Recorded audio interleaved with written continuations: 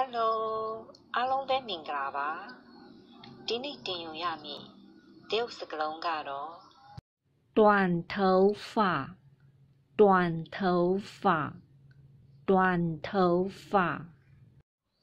စကားလုံးရဲ့အတိတ်ပဲကတော့